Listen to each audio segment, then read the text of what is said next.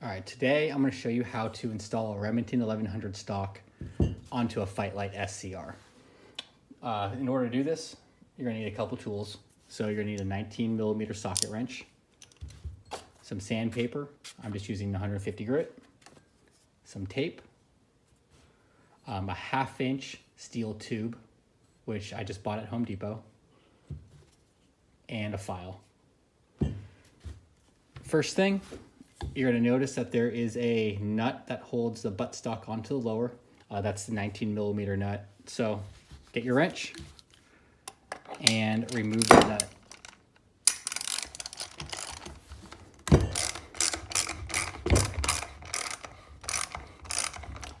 Also remember that there's a spring and detent that uh, holds this takedown pin in. So when you take the stock off, uh, make sure that that spring doesn't fly away.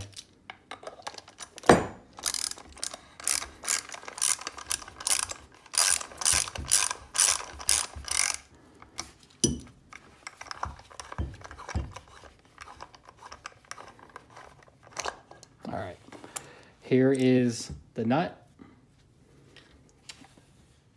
There's the buffer tube spring, and then obviously make sure the uh, detent spring doesn't come out. So slowly take off the stock.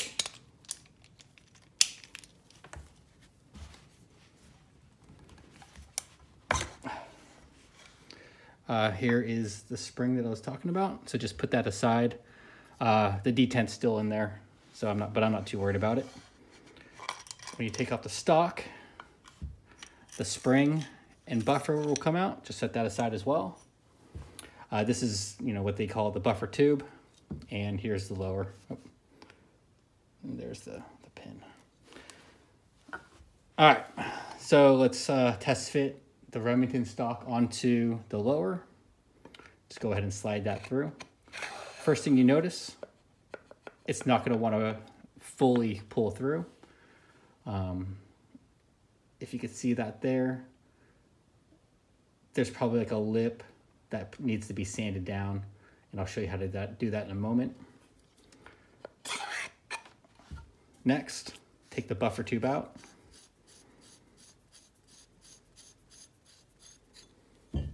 And test fit how this lip is gonna sit into the lower. And as you can see, it doesn't fully sit in there. So you're gonna have to sand down that lip a little bit. Okay, before I show you how to sand down the, uh, the stock, I wanna show you the similarities in the two. If you just line them up, you can see that they're pretty much exactly the same length and same profile, which is why these Remingtons fit perfectly onto the Fightlites. So in order to sand down this lip right here, I just take a file and I just slightly file along the whole edge. Uh, to sand down that the inside of that hole, I take that steel tube, wrap it with sandpaper, and basically stick it in that hole and sand it down that way. Now I don't want to sand down too much hole. I really, I really just want to sand down like an inch of it. So what I'm going to do is put this right up to that ledge. Mark off where it stops. So around right here. Tape it.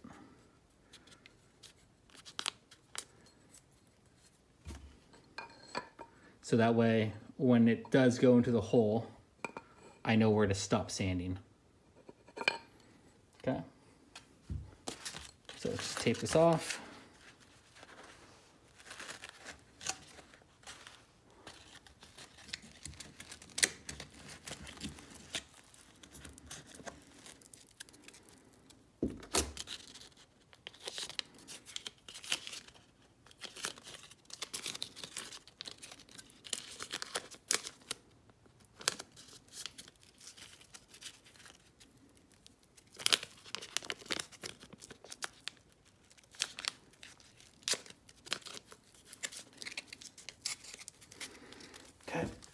stick it in the drill.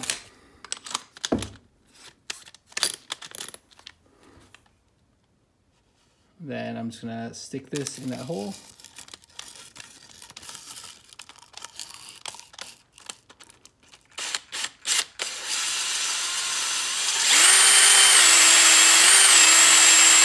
I'm just lightly putting force on the edges of the, uh, the sidewalls there. Okay.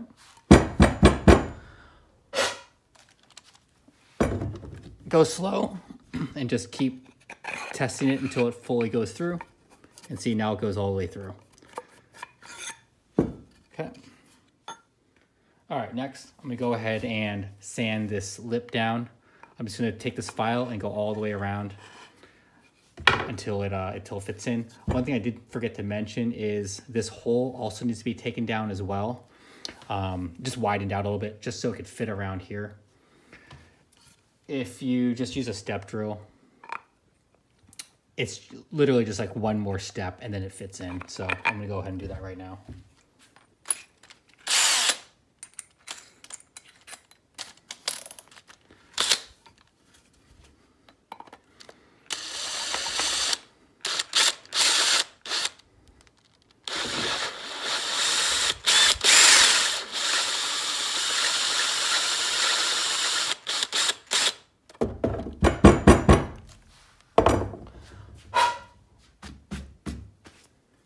All right.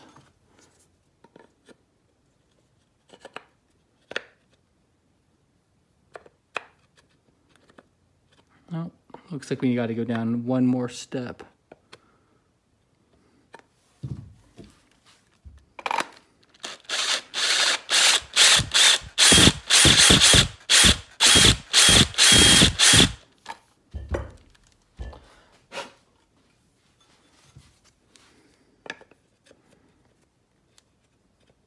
All right, starting to go in there. Uh, I just gotta sand the edges down a little bit more and it should be done. Okay, so as you can see, I took the step drill to it. What I ended up doing was stick it in the drill and uh, wobbling it around a little bit to widen the hole just a little bit more so it would fit in. Um, I did sand down the edges and as you can see, it fits in there pretty, pretty snug now. There's like a little movement, but that's not a big deal. So go ahead and test fit the whole thing. So install the buffer tube. Put on the stock. As you can see, there is a little bit more sanding of the sidewalls to go. So I'll go ahead and do that. Um, and then if you want, you can test fit the nut in there and see if, if um, there's any play with it moving back and forth. But let me sand the sides down first.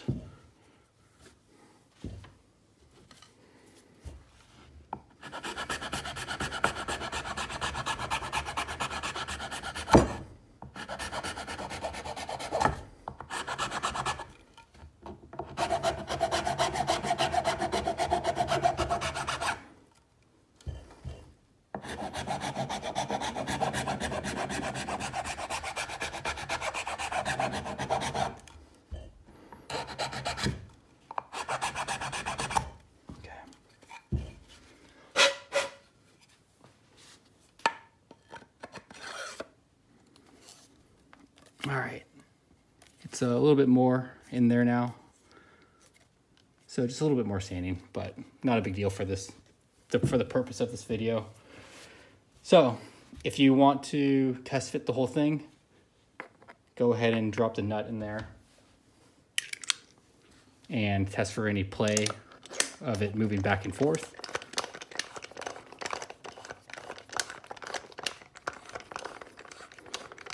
All right. So the nut's installed and there's definitely no pull out or anything like that. So that's pretty much how you install a, Remington, 1100 stock onto a Fightlite SCR. Um, all the uh, SC, all, the Remington stocks are a little bit different just because they're um, all the wood's a little bit different and how it's drilled is a little bit different, but um, it's essentially the same thing. So you might have to do some more sanding on the inside or some more sanding around the edge, but essentially this is how you do it. Uh, so anyways, thanks for watching.